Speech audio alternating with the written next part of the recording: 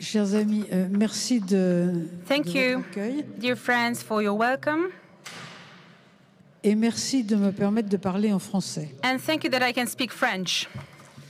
Alors, la question, ce sont les valeurs. The questions are values.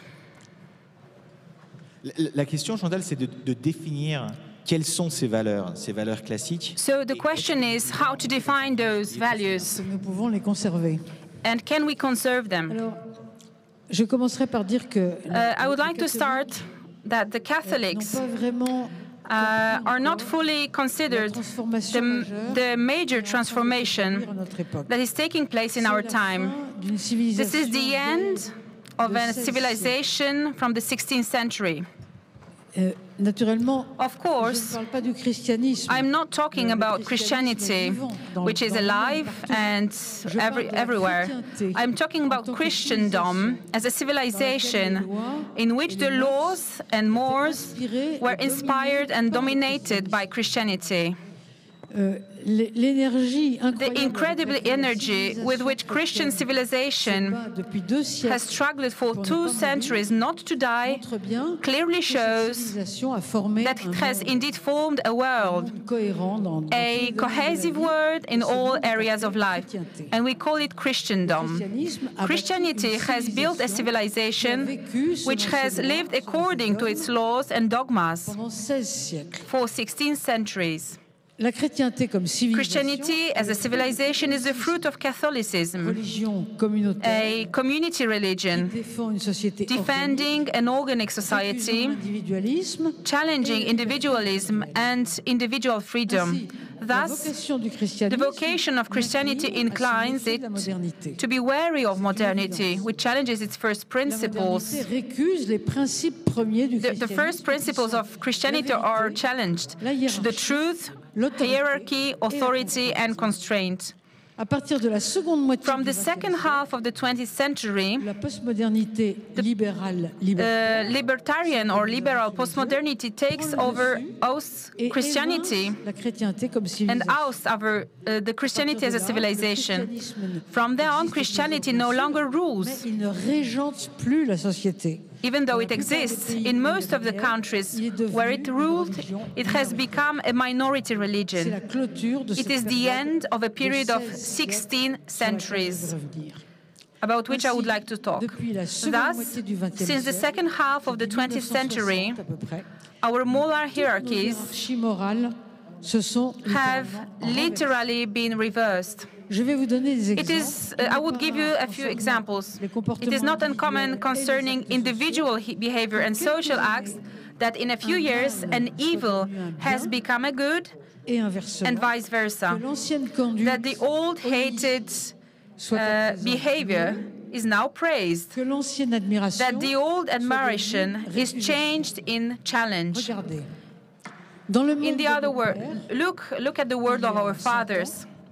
100 years ago, colonization was generous and admirable. Torture, and war were worse go.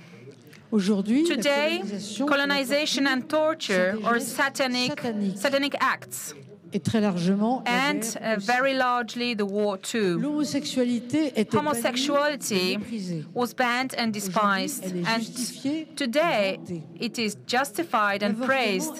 Abortion, previously criminalized, is being legitimized and advised. La pédophilie, Pedophilia, auparavant previously considérée seen comme un as the stopgap that was supported to protect families and institutions, est aujourd'hui is now criminalized. Le divorce Divorce, which uh, was almost impossible and then difficult, no longer encounters any obstacle. Suicide was frowned upon. Remember, suicidés des funérailles Suicides were not offered a religious funeral. It is considered a possible benefit, Et les lois dans and the laws in some countries aident à sa réalisation. help to achieve it. Dans une société, In a society, the table of mores est un point is a focal point qui concentre which concentrates the common philosophical choices. Permissible, vaunted, forbidden de la pensée behavior is a sign of the thought of an era. interdit. La traduction de quelque For it is only the translation of something deeper, une traduction qui but a translation traduite dans le sang drenched in the blood sueur de cette and sweat of this precise qui rapporte ses society and telling of its gods along with its conduct. Any signifying act reveals a belief, even a sleeping belief, if it is not conscious. If, for example, you make the sometimes uh, sometimes cruel effort demeurer auprès du to remain with a difficult mate, votre femme ou votre mari, your husband or wife, instead of separating from him, it is because you harbor a certain powerful à i- soi, idea of dit, de la loyalty to oneself, in other words, of personal responsibility.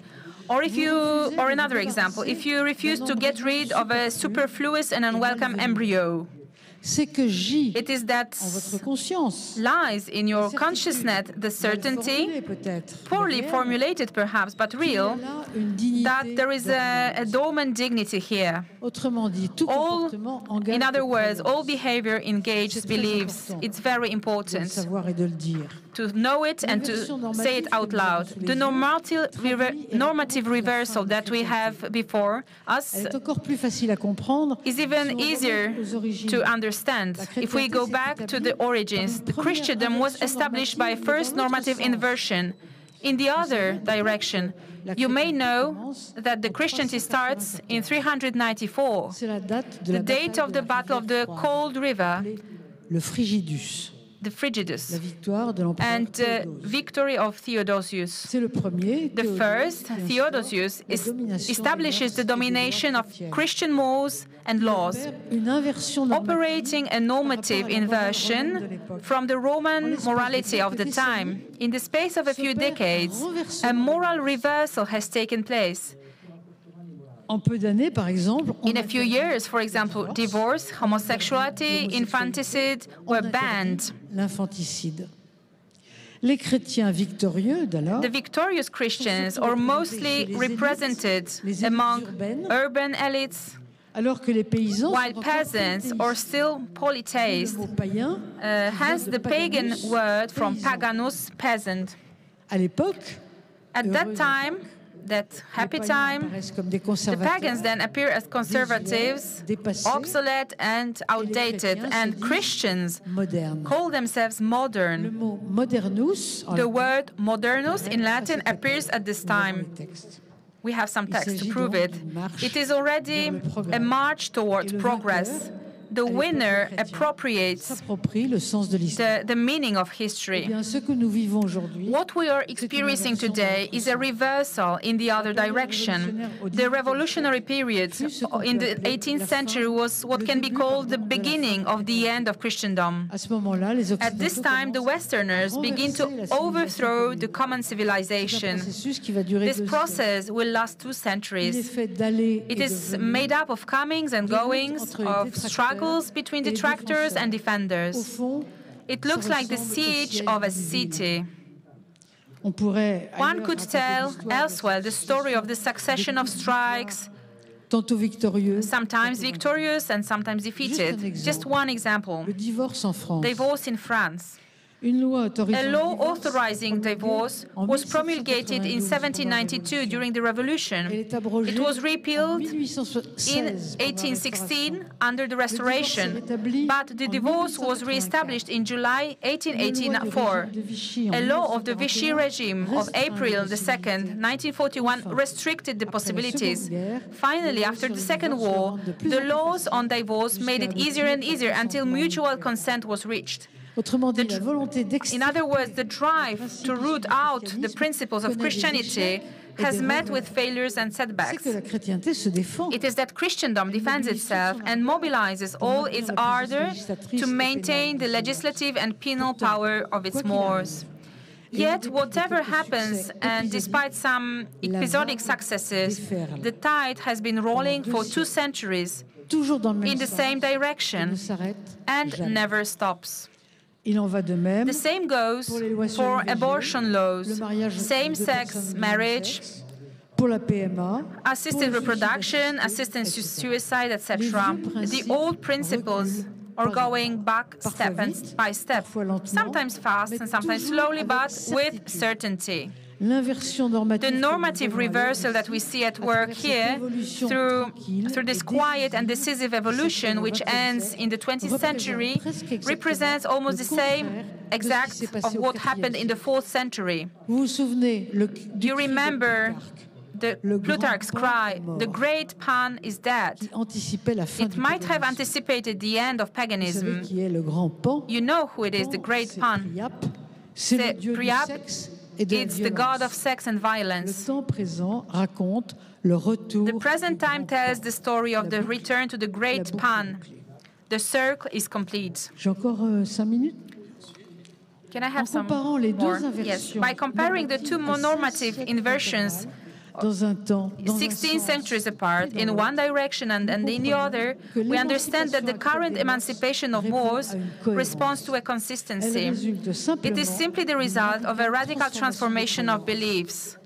Pourquoi les nouvelles Why are we the new mores, je viens de the ones I have just mentioned, taking hold so irresistibly and inevitably? Pourquoi le courant Why does the modern stream seem invested with the future? Bien, parce que les lois, Because the laws, customs, mores cherchent constamment à constantly seek to correspond to the beliefs of the moment. And today, Western bien man—you have to know it, Western man no longer believes in the principles of christianisme. Christianity.